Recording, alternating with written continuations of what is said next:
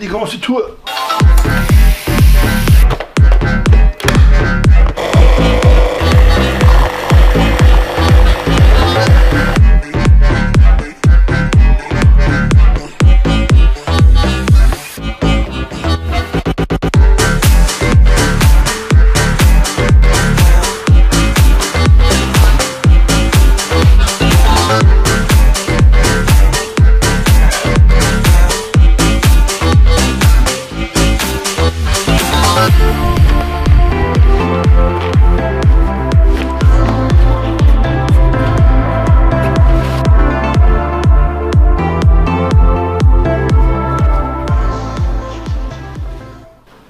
Habedere, Servus, Christ euch. Herzlich willkommen zu einem weiteren Video von mir. Heute beginnt unsere Dreitagestour und zwar Daniel und ich machen eine Lost Place Tour Richtung Sachsen und zeigen euch so im Hintergrund ein bisschen, wie es da so abläuft. Hier stehen noch ein paar Taschen rum, die müssen noch ins Auto und ich wünsche euch viel Spaß mit dem Video. We won't hide in the crowd.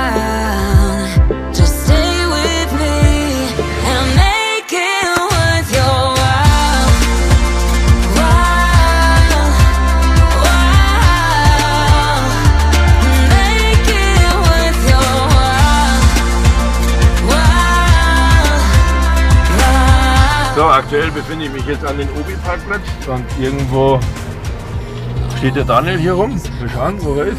Ah, nee, das ist doch, da ist er ja. Ja, da steht er ja. So, Moment, schaut mal, da ist der Daniel. Mit der üblichen Begrüßung, war ja klar, aber das kann ich auch.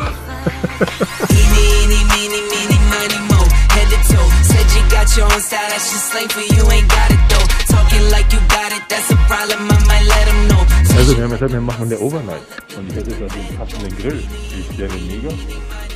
Passt mir leider nicht mehr ins Auto. Style, That's just slang for you, ain't got it though. Talking like you got it, that's a problem, I might let 'em know. Freeze you like a mouse or something, I let, let, let, let, let it go. Eeny, eeny, meeny, meeny, miny, mo. Never know. Talking like Geronimo, get dropped down like some dominoes. Blues and greens and pinks, I got a lot of those. Yeah, you know. Talking slime, I can't relate to snakes, I see a lot of foes. So, der Daniel gibt jetzt die Koordinaten in sein Navi ein. Er fährt vor, ich fahre ihm hinterher und wir haben circa dreieinhalb Stunden Fahrt vor uns. Und ich würde sagen, legen wir los. Tschüss, Obi!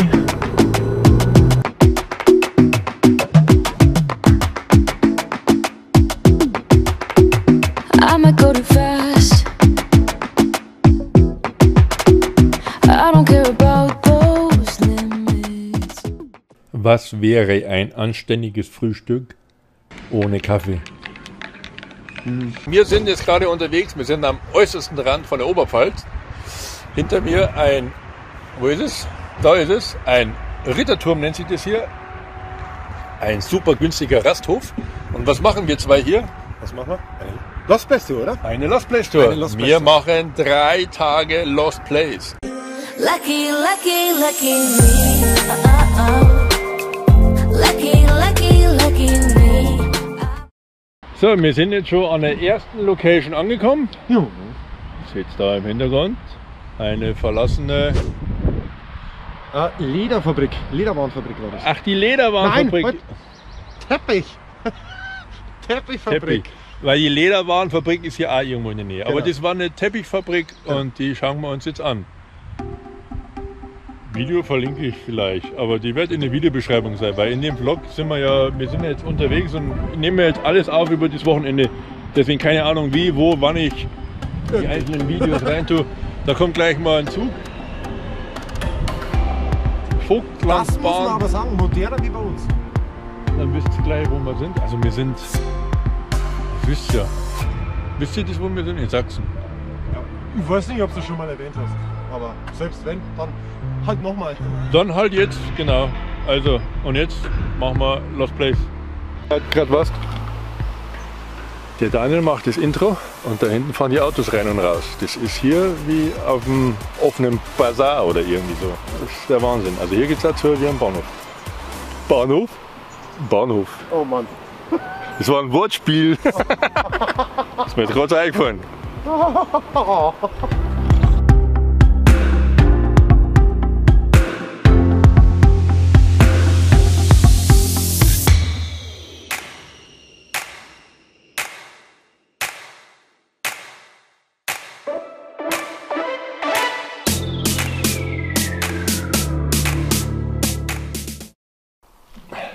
und der Opa muss jetzt da eine Pause machen.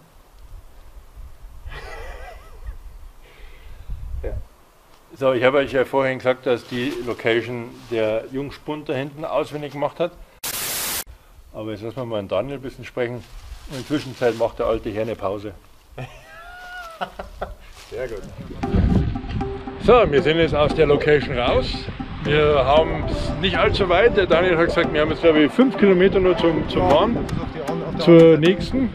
Und ähm, ich habe ganz frisch eine Red, Red Bull gekauft gehabt. Allerdings war es die in einem Auto, wo es jetzt gefühlte 85 Grad hat und die Red Bull ist jetzt ungefähr 65 Grad warm. So kalt, 85 Grad. Das ist jetzt nicht so mein Geschmack. Deswegen werde ich die nochmal irgendwo hinstellen und was anderes trinken oder jetzt momentan gerade nichts trinken. Aber eine warme Red Bull ist es nicht so das meine.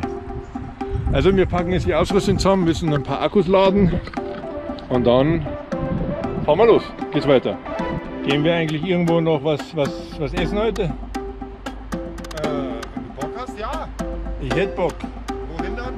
Hab nämlich Hunger. Keine Ahnung. Irgendeine Kleinigkeit. Ja, machen wir nach der nächsten Location, oder? Nach der nächsten. Okay. Und dann nehmen wir was essen. Mein Hunger. Eigentlich aber jetzt schon. Der wird keine 2-Stunden-Location normal. Wenn wir Pech haben, könnte seine Location nach 5 Minuten ist vorbei. Weil wir nicht reinkommen. Das könnte sein. Mehr steht. Oder weil sie gar nicht mehr steht. Ja, das werden wir sehen, ob wir reinkommen.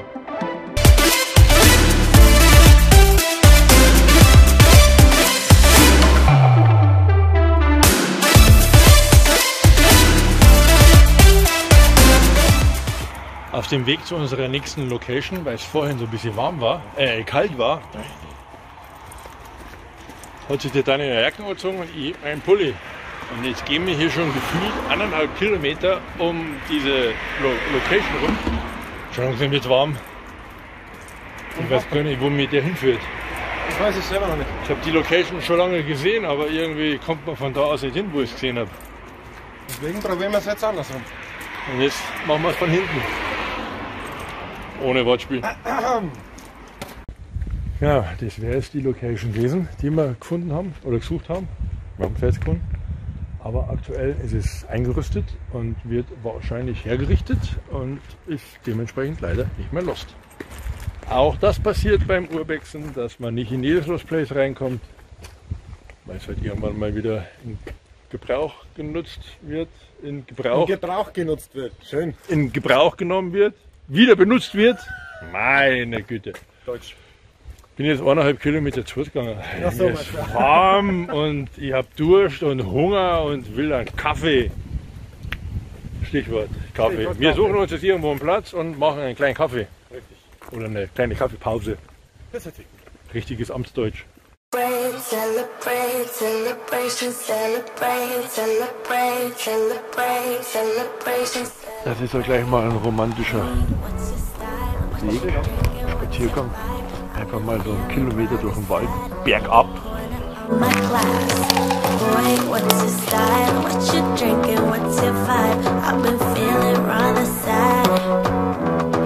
Sonne kommt raus. Hat doch was. In der Natur, mitten im Wald. Habe die Ehre. Servus, grüßt euch. Herzlich willkommen zu einem weiteren Lost Place Abenteuer. Heute wieder. Wir müssen in die andere Richtung. Okay. Also,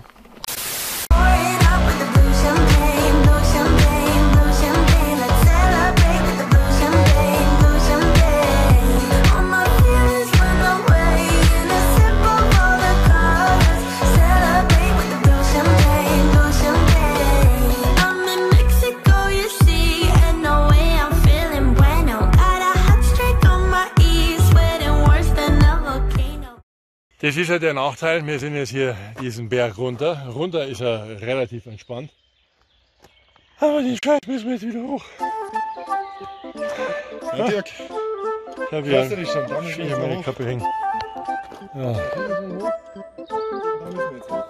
Ja, von hier kommen wir ja. Da ganz da unten waren wir. Da unten geht ein Zaun entlang. Bis, keine Ahnung, irgendwo da hinten, wo die Weltkugel dann aufhört. Aber es freut mich ja, selbst der Daniel ist schon fix und fertig. Und ist ja gerade mal halb so alt wie ich. Kann ich auch. Bloß du musst aufpassen, wo es lang ist.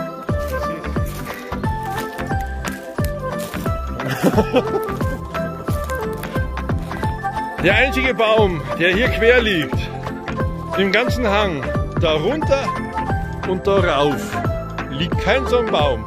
Und was meinst, wer fliegt über den drüber? Weil er seine Kamera hält? Mann, Mann, Mann, wie und sich über mich lustig machen. Dabei gehe ich hier so voller Tatendrang den Berg hoch. Ich habe mein Brennen im Oberschenkel. Es brennt im Oberschenkel, aber meine Pumpe geht. Ja, gut, dass sie geht. Wenn sie nicht mehr geht. Oh, ja, gleich sind oben.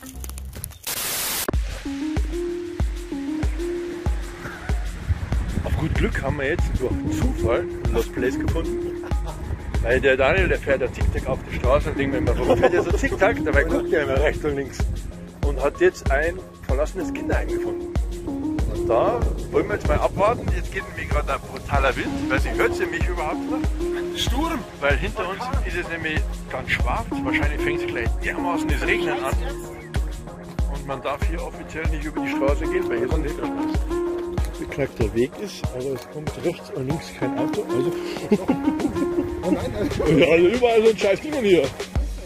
Ah, ah. Der junge Frühling. Da ist das gute Stück. Da gehen wir jetzt rein. ja, da ist ein Wohnhaus. Da ist das Wohnhaus. Und da sitzen die Leute sogar draußen. Also müssen wir jetzt in diesen.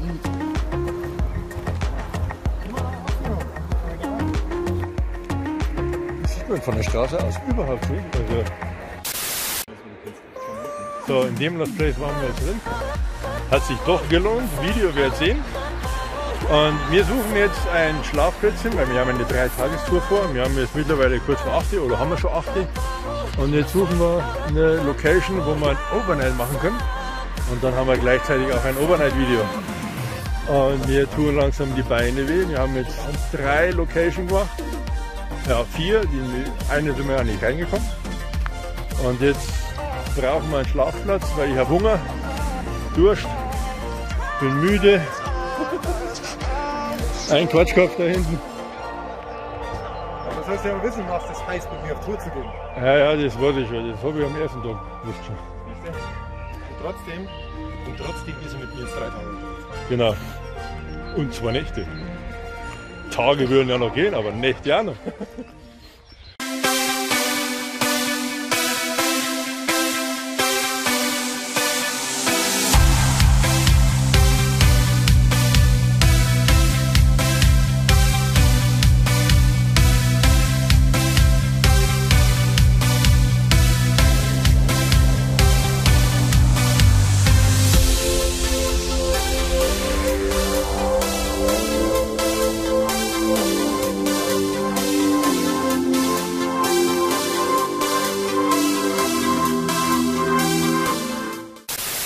war das da für mich. Ich dachte, wir gehen durch die Fenster hier rein. Äh, Daniel sucht immer den, den, einfachen Weg, nicht durchs Fenster. Aber hier riecht aber, boah, Kläranlage. Ii.